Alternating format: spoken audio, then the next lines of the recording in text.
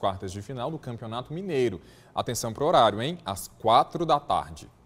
Essa é edição do MG no Jornal Nacional, logo depois de Deus Salve o Rei. Boa noite para você. Até amanhã.